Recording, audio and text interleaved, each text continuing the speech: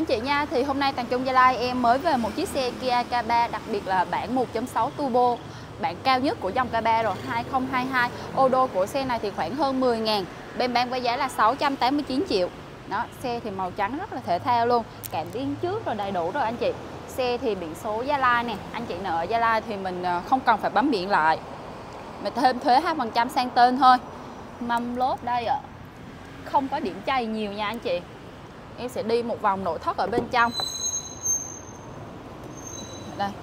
Đó nội thất bên trong là nội thất kia của K3 thì khỏi phải ban rồi anh chị. Đó.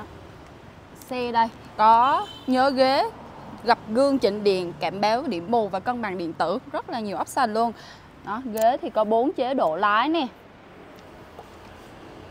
À, ngoài ra còn ghế còn có chế độ sưởi ấm nữa đó bản cao nhất của dòng K3 này sẽ có cửa sổ chơi cho mình anh chị nha. Này.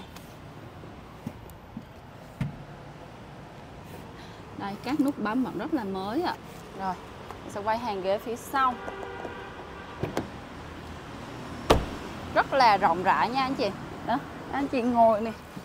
Độ cao vẫn còn nhiều, có cho mình là điều hòa sau, rồi cổng sạc phía sau luôn. Ừ.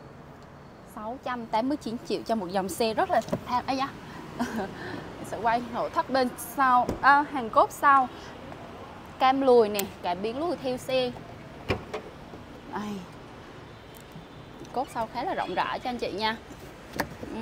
lớp sơ cu thì chưa hạ đồ nghề thì còn đầy đủ cho mình ạ à. đó thì à, anh chị nào mà quan tâm tới chiếc xe này thì cứ ghé tại cửa hàng Tàn Trung Gia Lai 276 Nguyễn Tất Thành và Lê cu ạ à xe này thì đăng kiểm được sử dụng tới tháng 2 2025 đó anh chị nào có nhu cầu thì dòng đời xe này cũng có trả góp ở một số tỉnh thành đó ờ, mình cứ gọi điện tới các số hotline bên em để được hỗ trợ nha.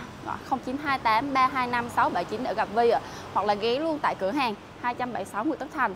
Rồi em xin chào anh chị và kết thúc clip tại đây ạ.